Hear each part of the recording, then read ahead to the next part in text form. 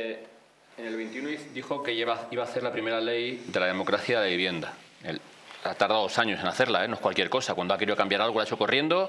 Y ahí tenemos la sedición, la rebelión y la eh, malversación de fondos. El sí es sí, el guau es guau y todo eso. Por eso digo, pero que cuando ha querido, ha corrido. Ha corrido mucho para hacerlo, para beneficiar, en este caso, a los indepes que dieron un golpe de Estado en Cataluña.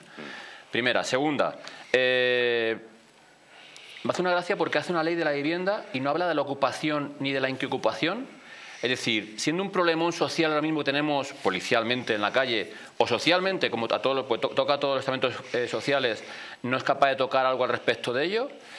Tercera, eh, me hace mucha gracia porque eh, la Constitución dice que, tenemos un derecho fundamental como es el derecho a la vivienda, cierto.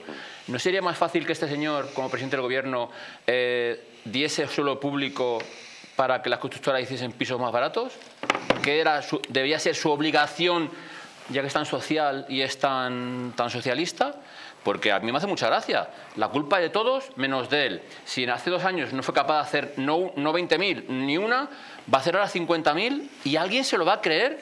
Y me hace mucha gracia el vídeo que has puesto, porque la gente parece que eh, les han puesto un algo en el culo para que se levanten corriendo todos a aplaudir. Entregadas, entregadas y entregados. Y sí, sí, y entregades. Es tremendo. A mí, lo que más gracia... escucharle, digo que no, no, no, este tono de... Ese tono, aunque sea presidente del gobierno, de mm, Cordero de Goyao, a mí me da, me da no, me, no puedo con ese, con ese tono, Urico, no te, voy a, no te voy a engañar.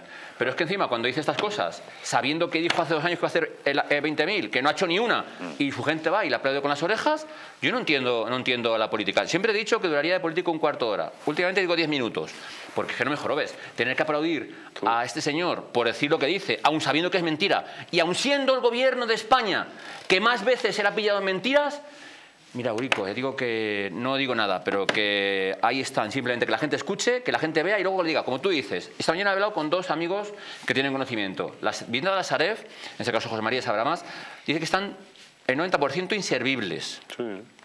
Aparte.